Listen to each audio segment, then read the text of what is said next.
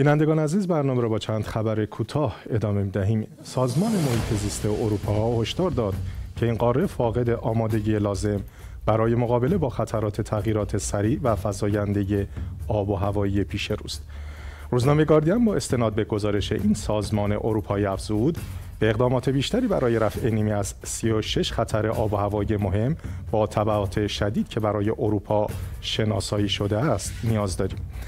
این گزارش می افزاید هوای گرم جنوب اروپا را خشک می کند، محصولات کشاورزی را از بین می برد و ذخایر آب را کاهش می دهد.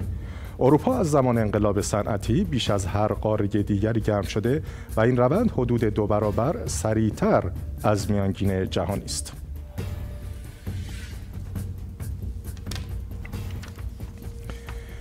باستانشناسان قدیمی ترین نانوایی جهان را با قدمت 6600 سال قبل از میلاد مسیح در استان قونیه در جنوب ترکیه کشف کردند.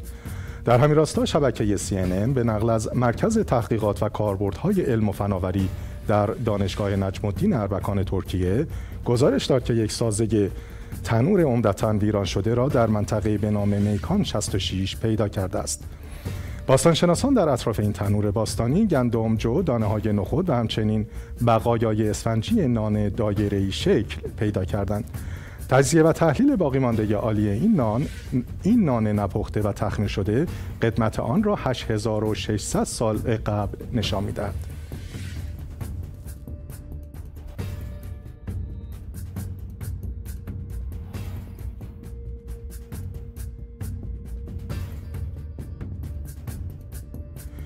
اداره احصایه و معلومات افغانستان تحت کنترل طالبان می‌گوید که جمعیت این کشور در سال جاری خورشیدی 34 میلیون و 900 هزار نفر تخمین زده شده است.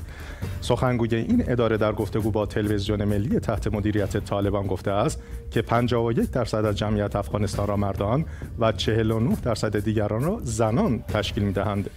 بر اساس آمار سال گذشته اداره احصاییه حدود 70 درصد نفوس افغانستان در روستاها و 25 درصد در شهرها زندگی می کنند.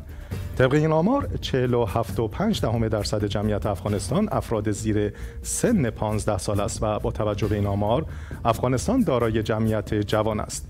گفتنی است که آمار جمعیت افغانستان تا کنون به گونه تخمینی اعلام شده است.